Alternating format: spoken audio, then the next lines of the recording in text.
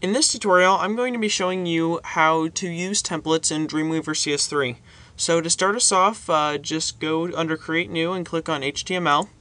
And I just want to tell you now, this isn't really going to look pretty. Uh, it's just for function, basically. I mean, uh, we're just going to start with a table, and it's going to have three rows and one column, and uh, it's just going to be 100% width.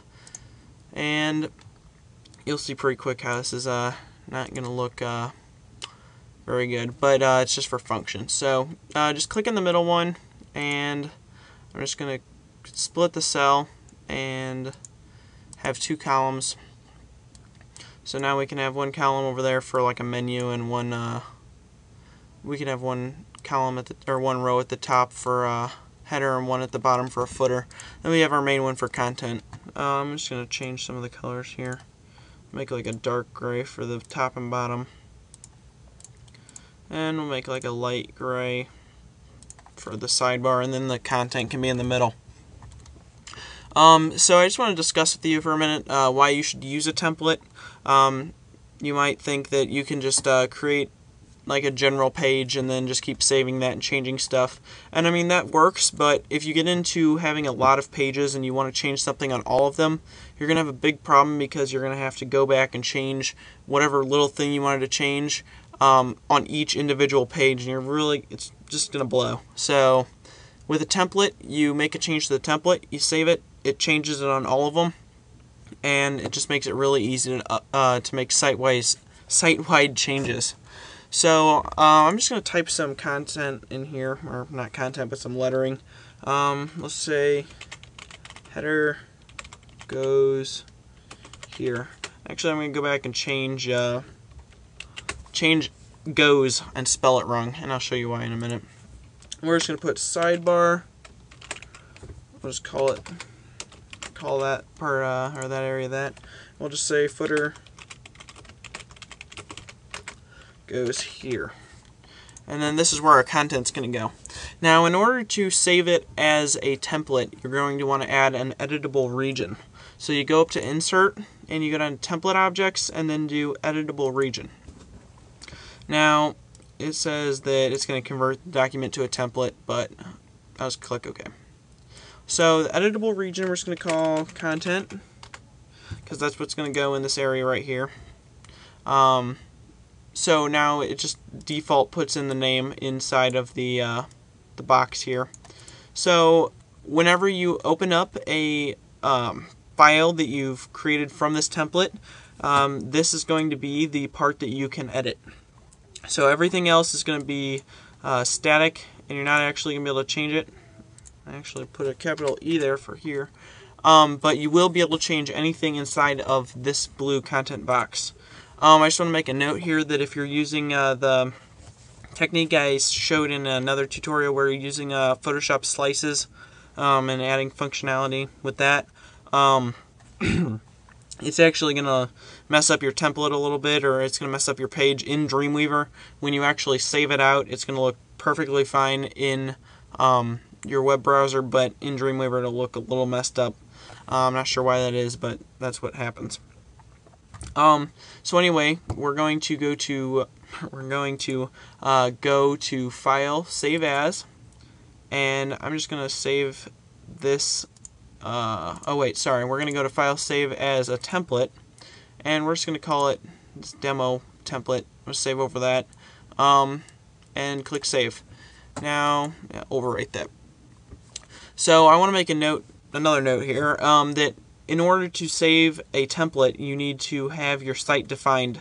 So basically, you just go to you just whenever you try and save a template, it'll let you define a site if you don't already have one.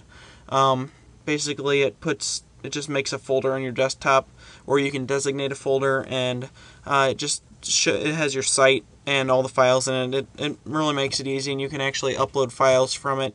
And when you're in Dreamweaver, you can go between like your files and your site so you can just see all the files from your site only instead of all the other uh, crap you have on your computer so it just makes it really easy um, so I suggest doing that uh, especially if you want to create a template because really that's the only way to create a template um, so now that we have it saved it's a DWT so Dreamweaver template file And I'm just going to go to File, New, and we're going to create a page from template. You have blank pages your default, and you go down to page from template, and we're going to click on demo template. You'll see a little picture of it, and you want to update page when template changes. Make sure that's checked because uh, if it's not, you're going to have a problem. So click create, and now you'll see you have your new document, and you have uh, it has this little yellow thing around it, and it says demo or it says template and then a colon demo template, so you know that that's the template it's going by. And you'll see here um, this part that we created in the other one, this uh, editable region. So if you go in here, if you go into your code, um, pretty much everything else is not changeable. Anything with color you can change, like you can change the title, um, you can change just content here that goes inside of this editable region, but I mean I can't really click here. You see I get a little no symbol uh, telling me that it's not going to work. So we can say um, content, let's not do it in caps. I'll spell it right too. Content goes here. Alright, I'm just going to copy that.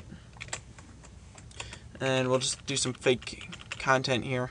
Just hold that down. Alright, now we can uh, go to File, Save, and what you want to make sure you do is save this file inside of your site that you already have defined. So I'm just going to save it as unti untitled 2. Um, and I'm going to overwrite it because I already have one uh, in there, but that's not important. So I, I, don't have these as divs, so it's going to make this, uh, it's going to resize it kind of how it wants it to, but I mean, you could easily change that later. Um, so if you want to preview that in the browser, see we have our thing here, and it's kind of going out of control because we don't have, really have divs, but um, if we did, it would be manageable. Um, so I'm just going to close that. And remember how I said that we were going to change uh, the misspelled part right here where it says header and it has the um, Z instead of the O? Well, if we go back to our template and we change the O and we do file save, it's going to ask us to update the template files and it's going to show all the files that we have made from the template. So you click update and then this other little box comes up. You can just close that and now you have all the files are updated. As you can see it changed on this one and it just wants me to save it again but if it was closed then it would just automatically update it and you wouldn't even have to save it and it'd be perfectly fine.